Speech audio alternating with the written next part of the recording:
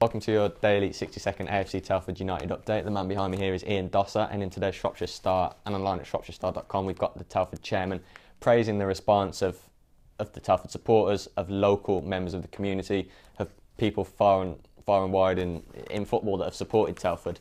Their current situation, of course, we all know they released a statement the other day claiming that support is needed, money is needed to be raised. I think it's £50,000 by the end of next month. They hope to generate one way or another.